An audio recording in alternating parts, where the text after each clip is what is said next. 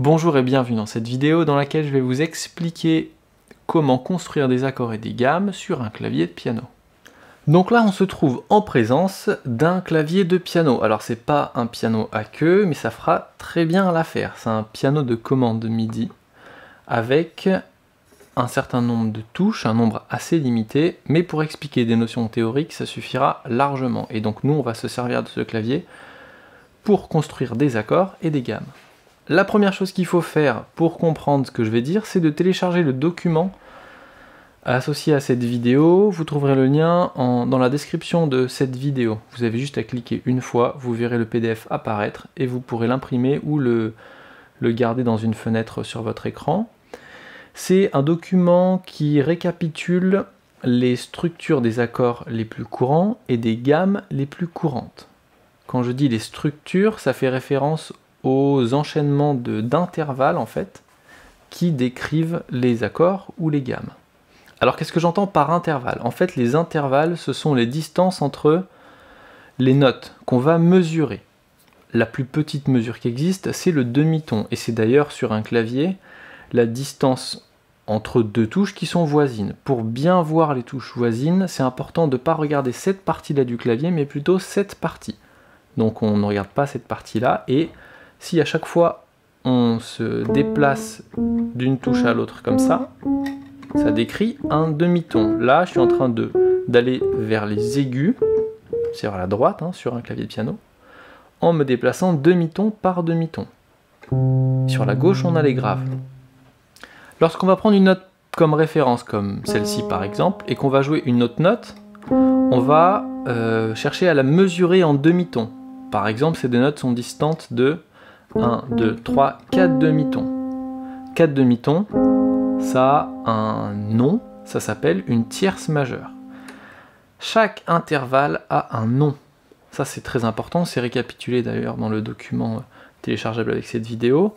Donc euh, pour tous les citer, on a seconde mineure, seconde majeure, tierce mineure, tierce majeure, quarte juste, quinte diminuée, quinte juste, sixte mineur, sixte majeur, septième mineur, septième majeur, et on revient sur la même note qu'au départ, mais une octave plus aiguë. Alors c'est pas exactement la même note, mais elle a le même nom. Elle est une octave plus aiguë, donc cette note elle s'appelle la bémol. Celle-ci aussi s'appelle la bémol, elle est plus aiguë, mais vous voyez que sur le piano, elle est exactement au même endroit. Bah, il se trouve que là c'est au milieu des trois touches noires. Voilà, et ça, ça marche pour toutes les notes évidemment. Là, je joue une mélodie octavier. C'est exactement la même mélodie, mais à une octave de décalage.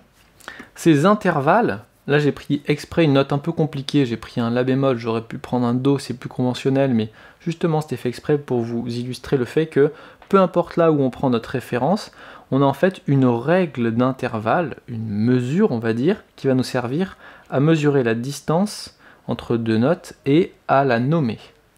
Si on veut jouer des accords maintenant, on veut construire des accords, c'est quand même ça qui nous intéresse, puis après on verra les gammes. Un accord, c'est plusieurs notes qui sont jouées en même temps. Si je joue ça, si je joue ça, ce sont des accords. Et c'est quelque chose qui est très courant en musique. C'est un peu la base d'une chanson, c'est les accords qu'on va jouer dans ce morceau-là. Donc pour savoir quel accord on va jouer, on va prendre une référence, une note de référence qu'on va appeler fondamentale et qui va servir de, repère euh, à l'accord, et c'est d'ailleurs ça va donner le nom de l'accord. Et ensuite on va, par-dessus cette note de référence, empiler d'autres notes qui vont nous donner la couleur de l'accord. Alors je vais illustrer ça, je vais prendre, prenons l'exemple d'un accord de euh, Si mineur. Il faut trouver la note Si sur notre clavier, le Do, il est ici, ça je détaille pas trop parce que ça se trouve vous le savez déjà. Le Do, c'est la note qui est juste à gauche des deux touches noires.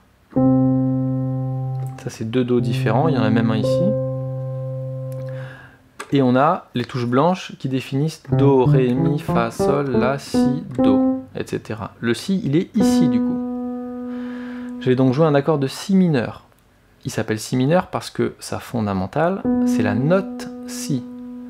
Et c'est un accord mineur. Du coup, je regarde dans mon document récapitulatif qui dit qu'un accord mineur, il contient une note de référence, la fondamentale, et ensuite une tierce mineure, et ensuite une quinte juste.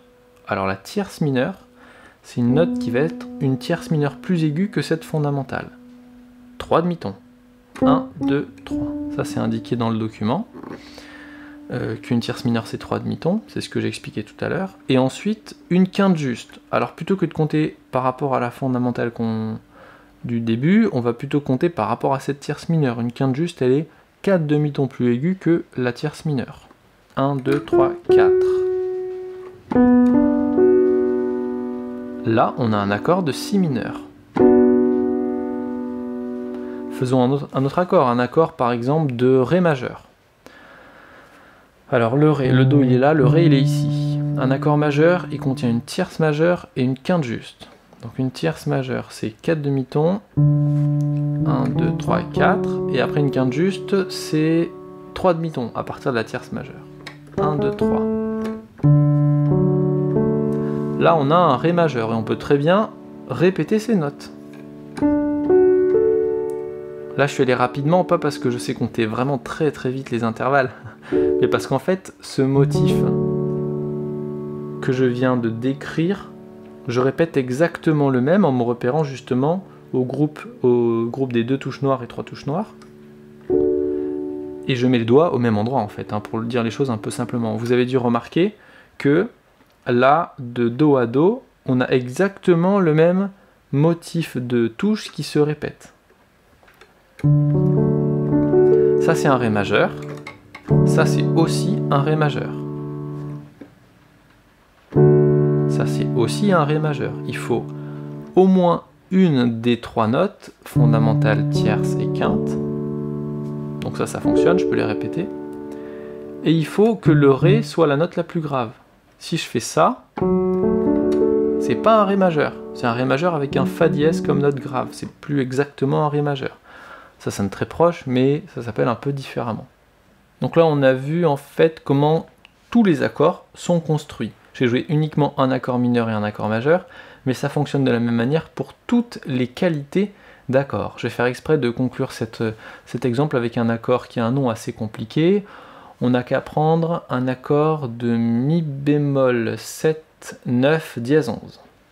Alors c'est un accord qui contient un accord qui commence par mi bémol du coup, qui contient une tierce majeure, une quinte juste, une septième mineure, une neuvième majeure et une carte augmentée. La dièse 11, c'est la carte augmentée, ça c'est indiqué dans le document. Hein.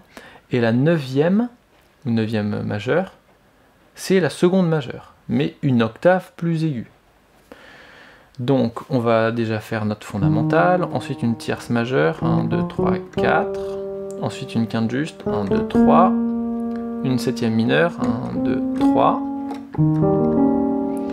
euh, là, on retrouve notre fondamentale, hein, qu'on va pas jouer. On a une neuvième majeure, donc une seconde majeure par rapport à cette fondamentale. 1, 2. Voilà, donc là, on a déjà un accord de... Il ne manque plus qu'une note. Et une dièse 11, c'est une carte augmentée qui se trouve deux tons, enfin 4 demi-tons, plus aigus que cette neuvième. 1, 2, 3, 4. Ok, c'est un accord qui sonne assez mystérieux.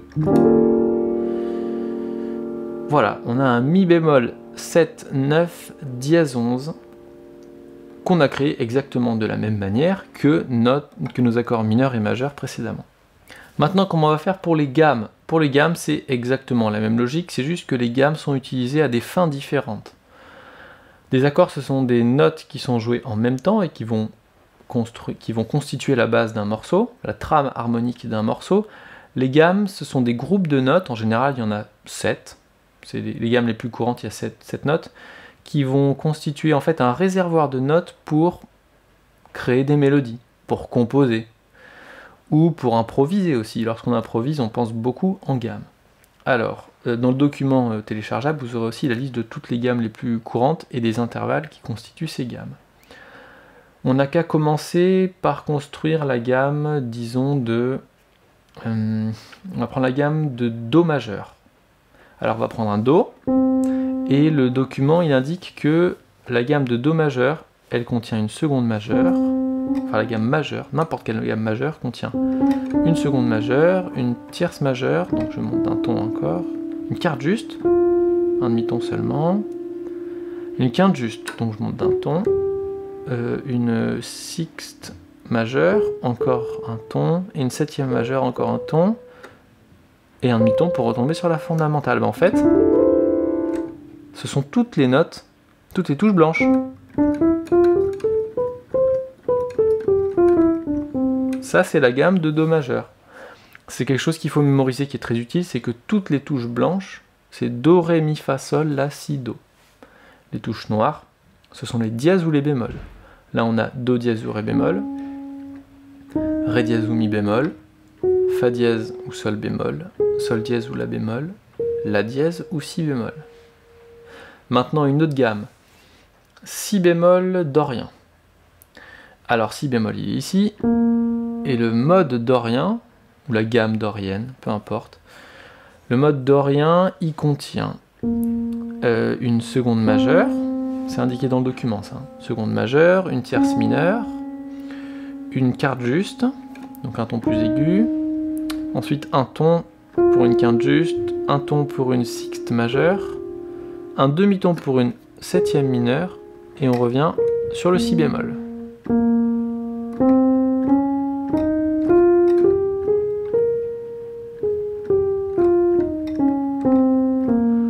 Ok, donc c'est une gamme qui a une couleur un petit peu triste, mais pas tant que ça quand même. Voilà, c'est un son assez conventionnel en fait. Hein. Et une dernière gamme, on va prendre une gamme, disons, de sol mineur harmonique. Alors la gamme mineur harmonique, euh, sol il est ici, et on va prendre une seconde majeure, une tierce mineure, une quarte juste, une quinte juste. C'est un peu tout le temps le même motif, vous avez vu. Hein soit il y a une tierce majeure, soit une tierce mineure. Au début, on monte quasiment tout le temps d'un ton, dans les gammes courantes. Ensuite, soit un demi-ton, soit un ton, pour avoir une tierce mineure ou majeure. Et après, quarte et quinte. Ça, c'est très très courant comme motif. Et c'est là où ça change après. Donc là, pour la gamme mineure harmonique, on a un demi-ton, pour une sixte mineure. Ensuite, on a trois demi-tons pour la septième majeure et on revient avec un demi-ton sur la fondamentale.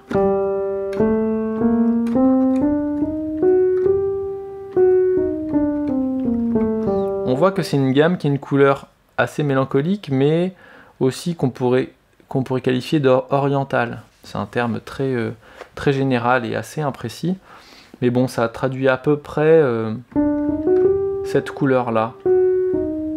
C'est cette partie de la gamme en fait qui a cette couleur. C'est une partie de la gamme qui contient deux notes distantes d'un demi-ton, encore deux notes distantes d'un demi-ton, et ces deux groupes de deux notes sont distants d'un ton et demi.